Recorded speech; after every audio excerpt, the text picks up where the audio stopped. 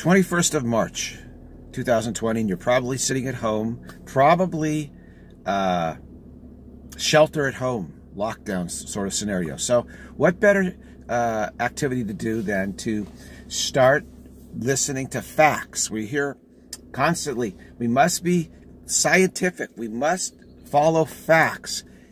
Great, let's do that. So, let's find out what the facts really are about our entire situation. And the fact is, scientifically, we'll be real scientific here. The fact is, none of us would uh, be imagining that we're a body, a life form in a, in a, in a world unless we first had the desire to be prior to and causative of reality, felt the impossibility of this, and decided that impossible was had two sides to it possible and obstruction of possible, thus giving rise to an absurdist strategy of the possible getting rid of the obstruction of, of possible, and therefore making the impossible possible for us. Okay, that's a big clause there. But that's the fact. Every single one of us is here because we we went through that chain, and the, and the last part of it is to view impossible as possible and, obstru- and obstruction of possible. Has be two sides to it, two facets, two parts to it. Every single one of us. So that's the main fact that we need to look at before all other facts. Why are we even experiencing this a life form in a world in a universe the, the real world the real kingdom of heaven uh, uh, the great perfection does not consist of worlds or even a universe uh, if we're if we believe we're in a world, that's a dream. That's a that's a strategy, a dream strategy that we're having for sure. A life form, temporary life form, in a temporary world with temporary nature, all decaying and dying constantly, uh, vulnerable to death. That's a dream. That's a dream strategy, an absurdist dream strategy. So that's the most important fact is to start out with that. The second fact is that we can relinquish this. We can relinquish this dream. We, we and we do this by forgiving ourselves. We forgive ourselves. Say, well, I forgive myself for for choosing such a silly idea, and then choosing to see, see impossibility as as split into two, and then choosing to try and uh, follow the, the, the mandates of this strategy to, to to destroy the obstruction of possible. I forgive myself for the whimsicality and foolishness uh, of this misadventure. And then this helps us, ah, it helps us relinquish it with, with a laugh. Okay? So forgiveness is, is the great technique. One of the great, it's essential. It's essential technique. You forgive yourself for, be really kind to yourself because it's been our own creativity that has been engaged in strategy and result. Reality is not engaged in some strategy to obtain some result. Reality is this 360 degree, always flowingness, you know, in perfect pulsating harmony with all. You can't even you can't describe what it's like actually in any any sort of detail whatsoever. It is just this this this allness and uh, totally suitable for us. Totally suitable for us. It does not have these issues that we are facing uh, in in this absurdist strategy dream. It does not have any of those issues at all. That's another fact. That's so we're being very scientific here. So we can, uh, and it's not harmed by our dream at all. Not harmed, not touched, not harmed by it in any way. This is just a fantasy we're having. We forgive ourselves for this absurdist fantasy, and this helps move us towards just relinquishing this this absurdist fantasy, absurdist uh, gimmick really. It's a gimmick. It's a it's a it's a strategy absurdist strategy gimmick verse we're having. It's a gimmick. Death is a gimmick. It's trying to to to find a way to circumvent impossibility. It's just a gimmick. It's a silly gimmick we're having. Look at that. Look at it that way. It's just a silly. I forgive myself and relinquish the vow for entertaining a, this silly gimmick. Wow. I forgive myself and relinquish the vow of entertaining this silly gimmick. Wow. So another technique we have is affirmations. Okay, so we have forgiveness here. We have affirmations. Okay. And then we have what's called the wow practice, where we, we tell ourselves that our strat I know my strategy, which is wow, and I know my result, which is wow. I already know my strategy, which is wow, and I already know my result, which is wow. So we have these three tools that we use to to ease absurdity out of the picture. We're saying, okay, you know, it was it was uh, a wild adventure, a misadventure, can't circumvent impossibility. I'm tired of it. Not no longer interested in it. Time to to forgive myself and then accept accept uh, reality as it is instead of trying to change it. So, three basic techniques: forgiveness, affirmation, wow practice. Now, there may not be a whole lot of people in the world uh, who who actually do that do this. Uh, because what happens is most people just do theory without the practice. And that is called the trap of idealism. It's the trap of idealism, where you end up just clinging to idealistic concepts instead of direct experiencing of reality. The, the path of right technique leads us eventually towards directly experiencing reality as it is. And you begin to have these, these direct experiences, breakthroughs of various types. And that's what's required. Whereas the path of, of idealism ends up with just being able to speak in idealistic, spiritually idealistic ways. But the, the overall grounded context, the true context for, that comes from direct experiencing is is lacking in this ideal idealism, and so it's it's a it's a, a stall out, a stuckness to merely speak in idealistic ways. Okay, so we we a little bit is okay. Theory is important. We give out we've given theory to start out with. We gave some theory, and then we gave the three techniques of practice. You want to have a balance between uh, theory and practice. I say it's about 60 percent practice 30% theory, and 10% everything else. Something like that. Six, the 60 30 10 uh, formula is a good one to have. 60, 60% practicing. A lot of affirmations, a lot of forgiveness, a lot of wow practice. Okay. 30% reminding yourself what the big picture is, what the scientific facts actually are. Uh, that this is really a, a, dream, like spiritual dream projection that we're, we're experiencing here.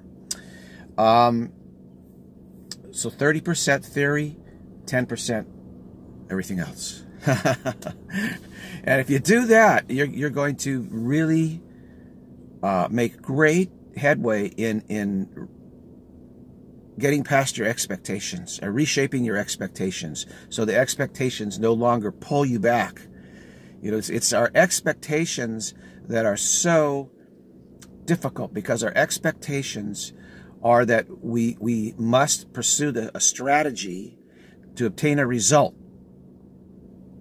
Because in this dream, in this in, in, in seeing impossible is split into two, we say, oh, we can, there is a way to get past impossible. But we have to follow the strategy in order to get the result of circumventing impossible.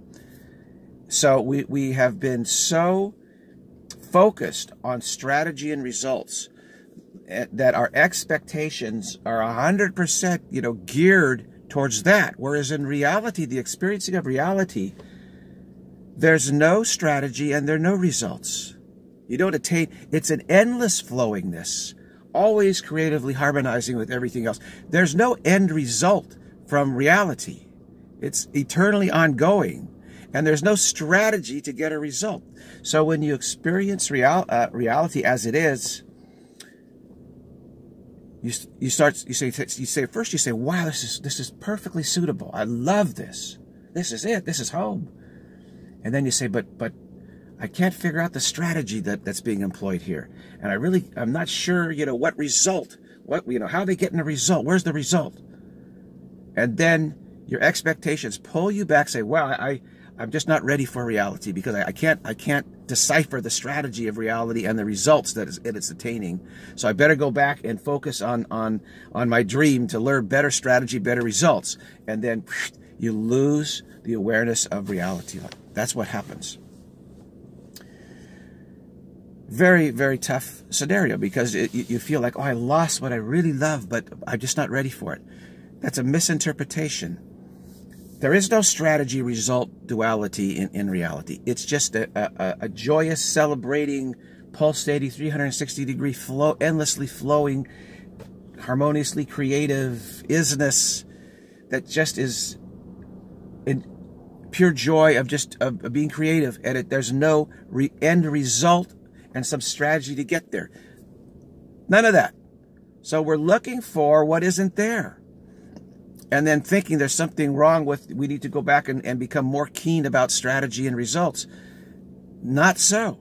We need to change our expectations to the point where we're okay with no strategy and no results in our experiencing of reality.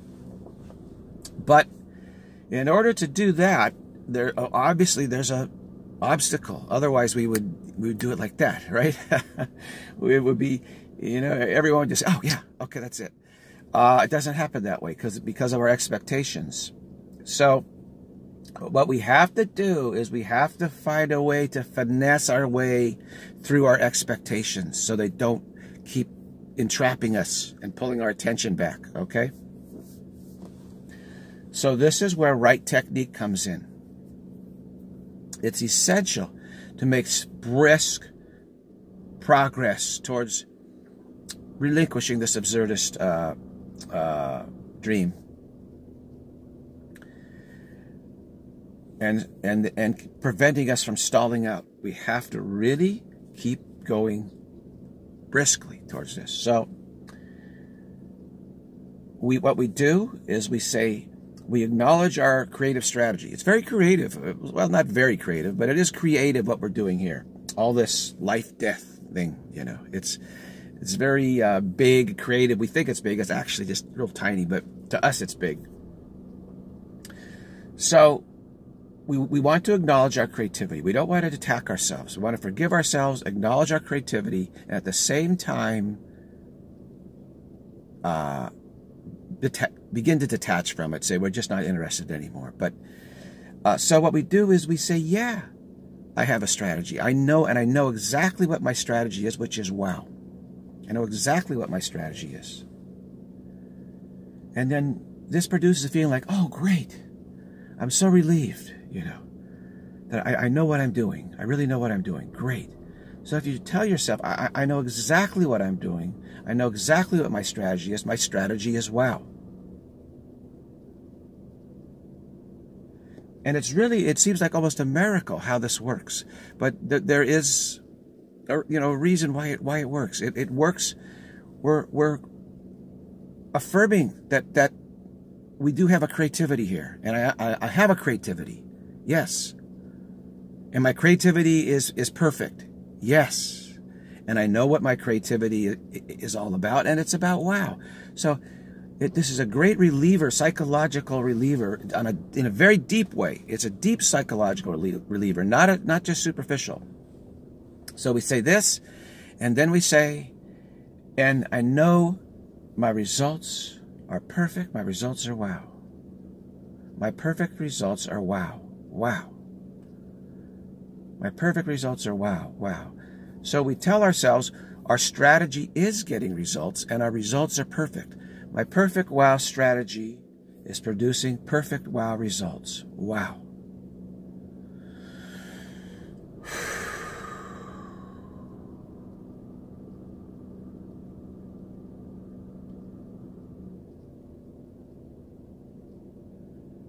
And this has a deep calming effect on us. Now, don't become an idealist and say, I need to make my calm perfect. Okay. Don't fall into the idealist trap. That's a trap. Settle for brisk momentum. Always be willing to settle for brisk momentum during each day and, and the overall picture. Keep your momentum going. Don't fall into the trap of idealism. That's not going to help. So we get a little bit of relief here. It feels a little bit of relief. Oh, that's good. That's enough for me to keep my momentum going. Great. Like if we're running a long, like a long distance marathon, you might feel at some points like I just, you know, I don't know if I can go on. And then somehow you get a second win. Somehow psychologically you psych yourself up. You get a second win and you can keep going. So what we're doing is, is we're making sure that we keep getting a, uh, some wind in our sails. And by doing these techniques properly, we keep filling our sails with wind. We don't stall out into some endless, you know, flat zone where there's no wind and, and we're not we're not really moving towards what we want to get to. We always feel like, ah, yeah, I, I am still moving pretty well here in this in this direction. So we that's the feeling we want to have. And so uh, the price of progress is backlash. Okay. Expectations say, whoa, wait a minute, you're you're starting to move away from strategy and result. That's that that's not gonna work. And we say, oh, okay, yeah.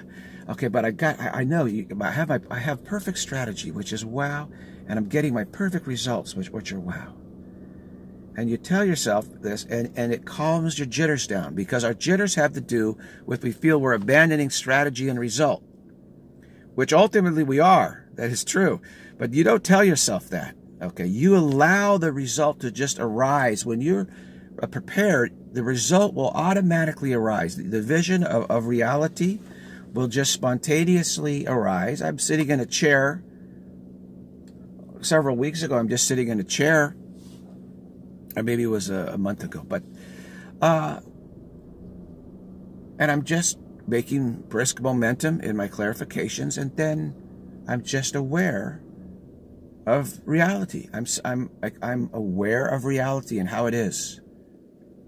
I'm saying, oh, wow, how nice, how, how perfectly suitable, and just just viewed it quietly, just quietly viewed it, just like that. So it just arose because I was uh, prepared for it, ready for it, ripe enough for it.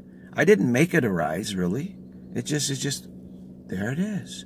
So we don't want to become an idealist and try to force results. Say I have to be 100% calm so I can get this result of vision of reality. I have to do this, this, this. That stalls us out. Because that is basically ignoring the dynamic of our expectations. And even if we do get a glimpse of reality, it will be short-lived and the backlash will be strong. An idealist lives for that those peak moments. They get a peak moment. And then the rest of their life is kind of downhill from that, you know, and and and talking about it and theorize, you know, using idealistic words. We want to be able to see reality continuously. So I I was aware of reality for like 10, 10 straight minutes, just easy easy as can be, no problem whatsoever. I said, ah, you know, I, okay, I'll take 10 minutes right now and accept it. Wow. I didn't say, oh, I have to have this right now. It's got to continue and struggle with. I said, you know, however long it's, it, it, it remains with me, wonderful. Okay, wow. So I know progress is being made like that, right? Def, tremendous progress has been made here to be able to just sit in, in awareness of how of the functioning of, of, of the isness of isingness of reality, like a vision, open-eyed vision, was still aware of, of the world and, and everything, but the open-eyed vision of, of actually reality for 10, 10 minutes without any problem at all. That's extreme progress. But I said, okay, this, you know, if it doesn't last, okay, that, that's fine too. I know I'm gonna have to get used to, to the shock of this, you know, and I've been getting used to the shock of it. It, it, it has a subtle backlash. It wasn't so bad, but still, still some subtle backlash. And um, just continue brisk momentum. Just continue the brisk momentum. Just continue the brisk momentum, and tell yourself, I already have the results. The, the, my results are, are, are, are, I have perfect results, and I know exactly what my results are. My results are wow. I know exactly what my perfect results are, which are wow. I know my results, and my results are wow. I already have perfect results, and my perfect results are wow. Wow. So keep keep calming your expectations down for strategy and results. Okay, those that is the absolute key to maintaining brisk momentum. Keep calming your expectations down. They will get agitated as you, again, get closer and closer and closer to, to visions of reality. You'll get more nervous and jittery. You have to keep calming yourself down. Because you say, "What will I do without strategy and results? I won't be able to to do the impossible, and I'll be, you know, I'll be, you know, in an abyss." You know, all, all these these fears try to come up and grab you. As you get closer, of course, these fears get activated. So it may seem easy to just spend an idealistic life, a spiritual idealistic life, but you're not really getting close to, to, to actually abiding in the vision of reality on a continual basis. So your deeper fears don't get triggered so much. But when you really are getting closer to success, genuine success, that triggers the deeper fears that we have. It really triggers them. And you, and you, you know, if you don't have technique, it's going to knock you out. You're going to say, wow, I better not go any further. That's it. I better settle for this. And let me just go now and tell everybody about how they should be loving, you know. uh, don't worry about uh, that. Just worry, uh, just worry about your momentum. You, you can't stall out into, don't stall out into telling everybody how they have to be loving. That's a stall out too. It's an idealistic stall out. There's nothing more loving than you actually having uh, vision of reality, continually abiding in the vision of reality. That's that is that is what love is really about. Okay, that's not just some idealistic talking about love, peace, harmony on this world. Let's make this world a great place. Blah blah blah blah. In reality, there's no worlds. You don't. Our goal is not to make this world a great place. Our our, our goal is to accept reality, the vision of reality as it is, and realize that this world was just a gimmick was just a gimmick. That's all. That's okay. Forgive ourselves. It was just a silly gimmick. And when we see that, we'll just laugh. It's a silly gimmick. That's it. and that's all it really is. Truly and truly and truly, this world is nothing more, this whole universe really is nothing more than a silly gimmick of trying to find a way to circumvent impossibility. And there is no way. So that's why it's just a silly gimmick you know, and, and we, you know, had some fun with, tried to be creative with it. Fine, that's great. But, you know, it's a, it's a creative, silly gimmick. And, uh, to just leave it just like that. That's all there is to, to, to say. The final say is just a, a chuckle. That's it. But to get to that, to get to that, you really have to be focused on your momentum. Okay, momentum is is your guru. Okay, momentum is your guru. You start the day, how do I get momentum today? How do I keep it going? How do I not get sidetracked? How can I, you know, maintain this this momentum? Have to do that. Have to do that. You cannot just stall out you start stalling out, get into the wow practice because your expectations are stalling you out. Feed those expectations with, hey, I know exactly what I'm doing. I know exactly what my strategy is. I have a, I, my, and my strategy is wow. My stra- I have this perfect strategy, which is wow. And I'm getting these perfect results, which are wow. So give yourself this pep talk, and you have to do that. I have to do it every day, a n- number of times throughout every day have to give myself that pep talk because we, we, we start, you know, our expectations start stalling us out, saying, hey, you know, you're, you're, you're forgetting about your strategy and your uh, results. You know, let's keep working on making this, try to make this world work. You know, let's make this a perfect world here, a perfect strategy, getting perfect results. You know, let's, you know, and of course that's delusion absurdity, trying to get past impossibility will always involve an absurdist strategy, which always, always will involve having to get rid of something. Something has to die. Which is really, our self has to die. Reality has to die. And since reality can't die, there we just try to make a massive amount of dying as if like that's somehow going to have some gimmicky effect upon reality. Like, well, one body dying isn't enough. Let's have 7 billion or 8 billion die. Or, you know, one tree dying isn't enough. Let's make, you know, trillions of trees and let them all die. All meltdown. Just, let's have a huge meltdown. Doesn't affect reality at all. Doesn't, does not circumvent impossibility. Scale does not circumvent impossibility. Doesn't matter if there's one world or a trillion worlds. It doesn't circumvent impossibility. That's a, another scientific uh, fact.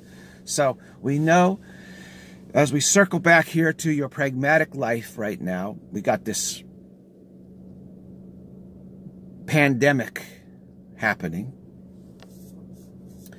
and doctors are, you know, healthcare professionals are ruling the roost right now. And it, the, the, chain, this is how the chain goes. Doctors have swear this oath that they are sacred. They must preserve life at all costs, and they must do everything they can do to preserve your life. So they're in the hospital, and they've got 10 ventilators, and they got 11 patients that need ventilators. That's when the doctor gets hysterical and gets furious and angry because you're interfering with their strategy and their results. So they just raise hell. Doctors, you know, doctors think they're very important people. And they raise hell when they don't have enough equipment to make sure that everybody gets optimal uh, opportunity to live a couple more years. So in a pandemic, what happens is the hospitals get too many patients at, at any one time. And the doctors don't have enough ventilators right now to hook everybody up because everybody's having pneumonia and they can't breathe. Okay. So put them on a ventilator and keep them alive for a few more days. Okay. So the doctors raise holy hell about this. And the nurses also, we can't provide the optimal health care for these people. What are you doing, you stupid politicians? You know, they really push through their whole, I mean, the healthcare system is the biggest conglomerate in the world. Pharma healthcare conglomerate is the number one powerful institution in the world by far, and you're feeling it now. You're feeling the power of the uh, pharma, big pharma uh, healthcare system in the world. It says, you know, we get us what we want because I want this person to live two more days, and you're, you know, boy, do they feel entitled. Okay, so they feel really entitled about that. And so that's where the hysteria is coming from. We've had many pandemics in the history of the world. Many, many, many. If you go back thousands, hundreds of thousands of years, it happens. It keeps happening. This is one. Of course, global travel makes it happen faster.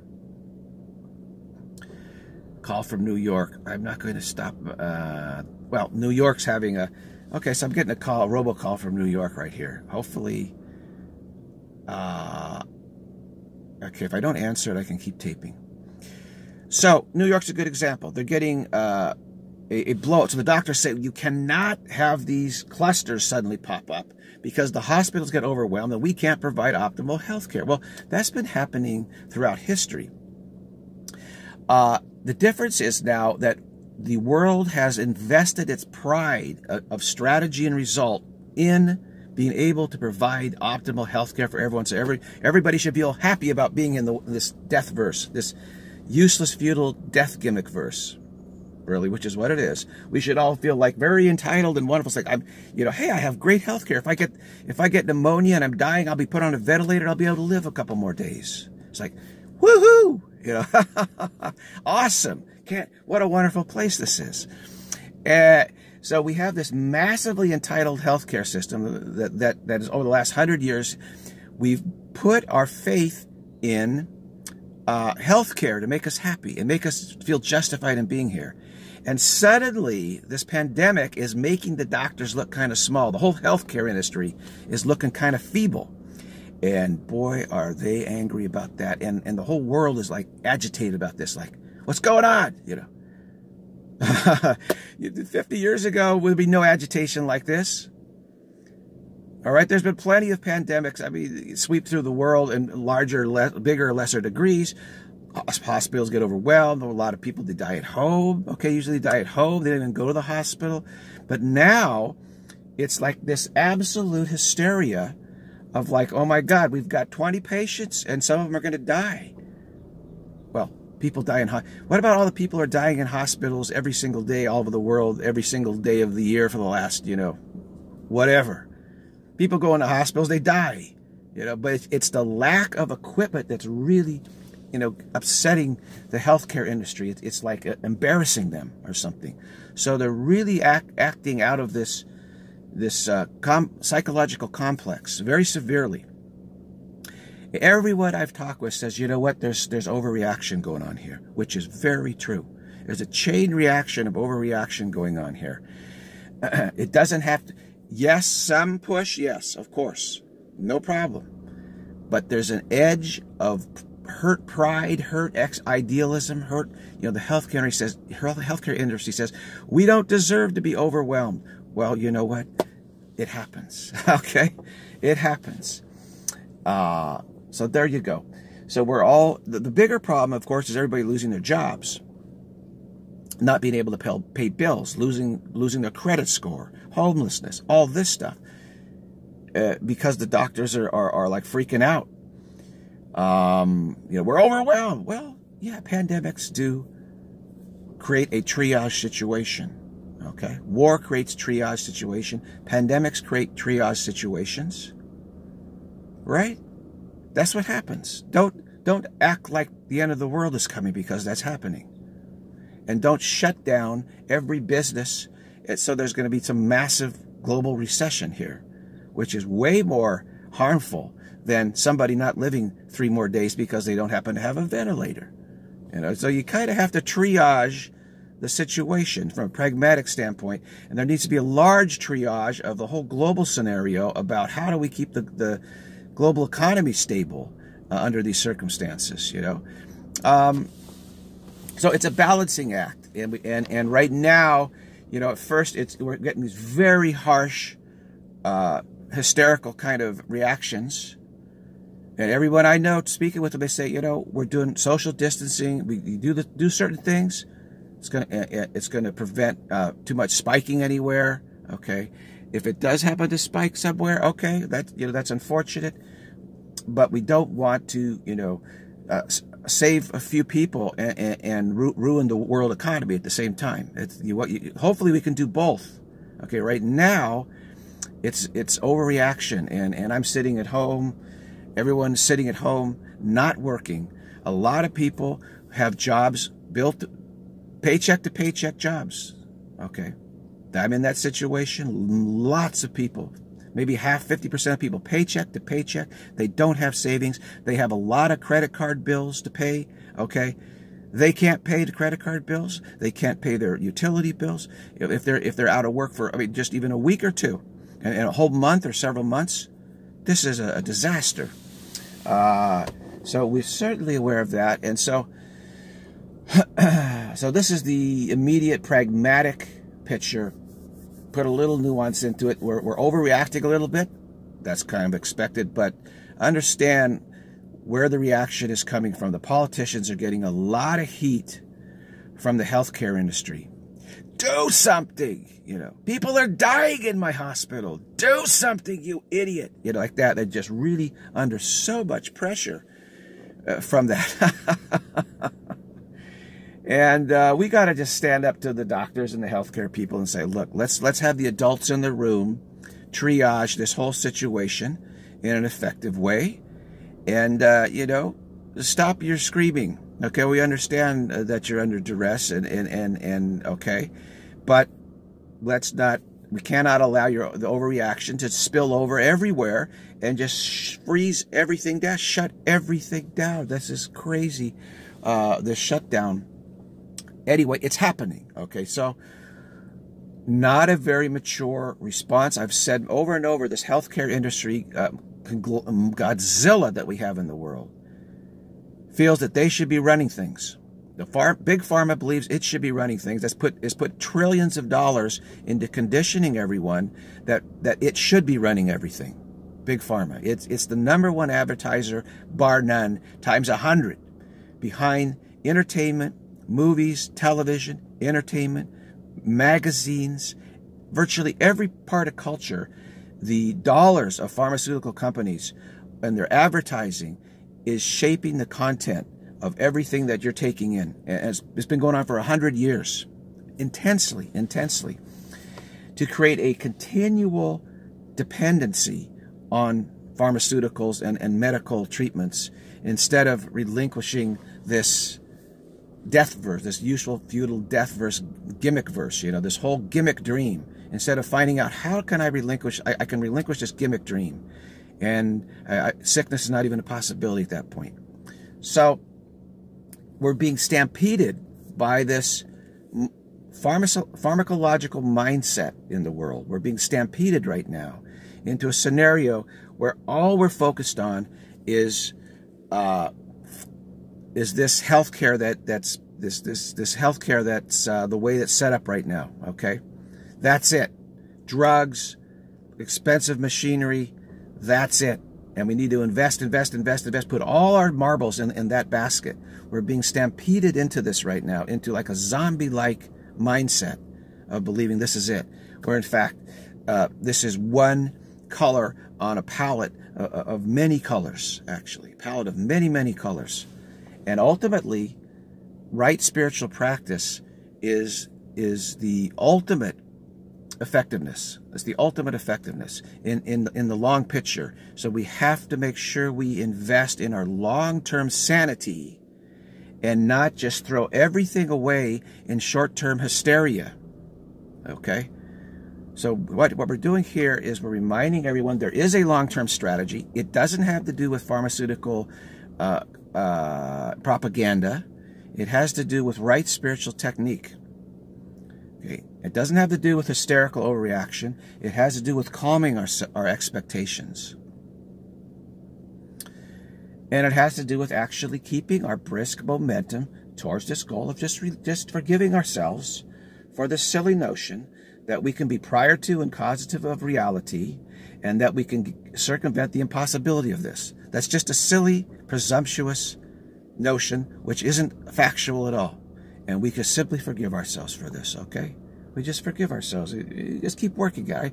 I forgive myself for this. I forgive myself forever for engaging in such such foolhardy creativity, you know?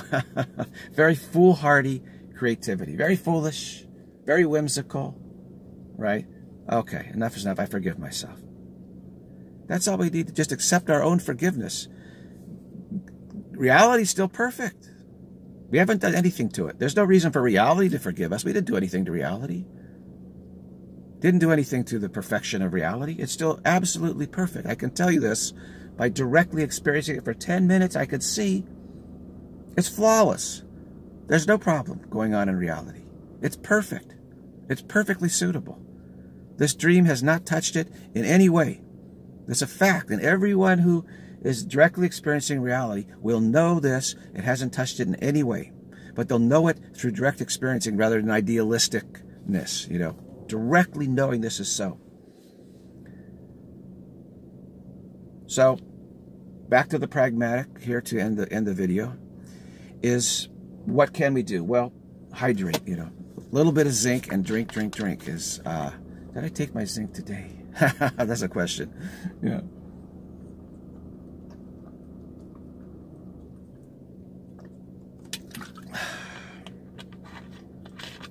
Lots of hydration, sanitation, social distancing, and right practicing. Okay, so just just focus on these real simple things. Drink a lot of water, about half of your body weight in ounces adjust for milliliters. Um, take some extra zinc below. Don't don't exceed 40 milligrams. Or, you know, you maybe you know be around that 40 or a little bit less, a little bit more, but not too much. You know, more. 40 you know milligrams of zinc, depending on your body weight too. You have to adjust it. Um, take your vitamins. Take well whatever you do, do that. Get your rest. Take naps. Drink some more. Drink some more. Drink some more keep your social distancing, keep surfaces, you know, sanitize surfaces. Uh, it's possible. It's likely we have someone in the house with the coronavirus actually, who's maybe had it for the last two weeks. Didn't really know the symptoms were so mild. It's very difficult. You know, it, it, other illnesses can seem similar too.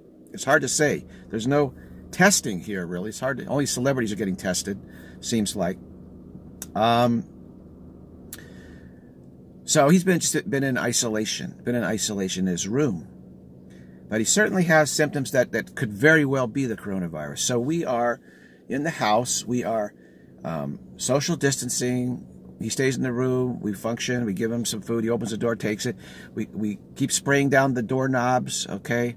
We keep um, hands keep your own immune system strong, and then you can also ask for the the uh, your great your great spiritual uh, helpers, whatever you want to refer to them, to uh, vacuum some of the some of this illness into their light bodies, which they can do. They can take that into their own light bodies and let the virus experience itself, let that play itself out in their light bodies, and then it subsides out of their light bodies, and you don't have to go through that. This this this is a way. There is some spiritual healing. The the great spiritual beings who have relinquished absurdity are able to help us. They're able to do that. They can, if we give them permission, they can lift. They can allow the uh, the virus to to play with their light bodies instead of our physical body. And they say they say to the virus, "Hey, this is much more fun. Come come out into my light body." They invite him in, and the virus says, "Oh yeah, let's go over there." it's a conscious it's this thing. It, it, they know how to do it. The virus will go into the light body of, of we call the, the great gurus, the great spiritual beings, and the, the virus will say, "Woo!" You know, this is wow, this is great. I love this. wow, where have you been all my life? And then after a while, they say, "Okay." They're so satiated with, it, they say, "Okay." That's enough. And then, no more like that. Okay, so this is this absolutely is is a very strong tool we can use. The pharmaceutical companies don't want you to know about this, okay? But we know about it, and so we're sharing it here. This is absolutely a way that we can be helped. And uh, again, so let's reiterate it. The, if we if we you could pray to, you could uh, uh, give uh, uh, give permission to whoever you feel you know you're comfortable with doing this. Whoever you feel comfortable can do this, can really do this, and say, okay, I give you permission. Go for it. Yeah. And of course, this is not the cure model that pharmaceutical medical establishment wants you to believe in. All right, it wants you to believe in drugs and vaccinations. It doesn't want you to believe in that there are these great spiritual beings who have completely relinquished all the dream of absurdity, who can produce this light body for us and can just attract the illness into their light bodies. Let the light bodies party in there. Have a, I mean, they party like never before. They're like, they say, wow. They say, okay, I've done my thing. I've done my thing, and that's it. Done. And then it just subsides, just subsides in from their light body. Meanwhile, you're, you're either symptom free, don't have problems, or your, your problems are very minimal. Okay, they can, if you want to have a little bit of problem, your problem might be just minimal. Or you can just re remain perfectly free of any trouble, or you might feel really fantastic. But this is genuine spiritual healing. This is how it actually works. And, but it takes your permission. They, they, they, they won't do this unless you said, okay, you can do it. If we want to be in charge of our own healing, say, no, I want to get the vaccination. I want to try these drugs. I want to go to the hospital. I got, I want to go through this. I want to find a way to cure this illness and all this kind of stuff. Then you're not giving them permission and, and they won't do this. But if you say, oh, I don't need to be the heroine of, of, of my dream, of healing. I don't need to be a healing heroine or a healing hero. You know, I got I got more important stuff. I need to keep my momentum of the Dharma going. So that's more important to me. I don't want these symptoms to mess me up. So I, am doing this. I'm saying, hey, I, I, don't want to get messed up with these symptoms. I want to keep on on my brisk momentum towards vision of reality, being stable. So, uh, gurus, sure, light body this uh, light body this illness off of me. Take it into your light body and let them party there instead of in my body. You see? Because the virus is just partying, you know, in our body, right? It's just having a blast there. it's not some like mean thing trying to tor torment us. No, it's just these these these party viruses just say, hey, look at this body, man. This would be a great, let's go to this body. It's going to be really a fun party to have. You know, wow, look at these cells in here. Hey, cell, you know, give me a drink. Ah, oh, they're, drink, they're drinking from the cells. You know, say, ah, this is, they're getting real drunk, you know, on our cells. drugged. They're getting drugged on our cells. Ah, I love these cells. They're getting so drugged, getting so high off of our cells, you know. They're just in there having a great time. So let them go into the light by the guru. They'll even have a better time. They'll have the time of their life. uh, yeah, this is absolutely so. So please employ this if you would like. And I will, you know, I'm just introducing it here for those who have stayed 44 minutes. That's very great. I introduced it at the end of this video, just a way, okay, I'm easing the world into this whole scenario. Like, you know, you got to be careful because the medical establishment, they're very, very tribal, you know, very tribal. They must, boy, you know, they think they're big stuff. You know, like the fate of the world depends upon us. No, it doesn't. The fate of the world depends upon our own forgiveness and the great gurus, the great spiritual beings that uh, are part of the God's uh, God's plan of compassion for us, who most certainly could help us in many, many, many, many endless ways that the medical pharmaceutical tribe has never even imagined. You know, can't even imagine it. Can't even imagine it. Right.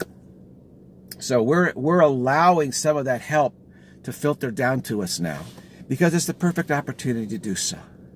Okay. And we, we work at it. We, we, we work on giving permission. Okay, I give permission. A little more permission today. A little more permission today. And it's no trouble for the for the great beings. They're just imagining this light body, and it's not it's not affecting their reality at all. See, they're perfectly aware of reality, which is unaffected by this. But they're they're working in this dream with a dream light body that can take the, these dream viruses into the dream light body and party there, right? That fulfills what's called quote unquote karma or expectations. Expectations. It fulfills our expectations. Like we want to let the viruses party party with us. Okay, but they're partying with the guru light body. So that, that that's at least they're getting a great party. Okay, it's all good. You see that way. it's a way to finesse our way around around the sickness, actually, in, in, in a positive way keeps our, our dharmic momentum going. Dharma is just the great river uh, of uh, right technique and theory, which enables us to forgive ourselves and relinquish the vow of trying to create what is intrinsic. Wow. So I forgive myself and relinquish the vow of trying to create what is intrinsic. Wow. I forgive myself and relinquish the vow of believing impossible is possible. Wow. My strategy is wow. My results are wow. My strategy is a wow. My results are wow. My strategy is wow. My results are wow. And if you stay with this video all the way through, give yourself an A plus. You know, really. And uh, let the virus party in the light bodies of the of the great spiritual beings. Okay. Be compassionate for them you know, you, the partying at your bodies, you know, it's like, it's not so fun. They're like, they get a hangover. You know, it's no, you don't want the viruses to get a hangover, do you? Let them party in the light bodies of the great be spiritual beings, and then they'll, they'll no hangover. They'll just be like, oh, that was so great. You know, I don't think I need to party anymore. they'll be done partying. okay. So, very great. We're gonna we're gonna say that's it for this one. So again, I forgive myself and relinquish the vow of trying to create what is intrinsic. Wow.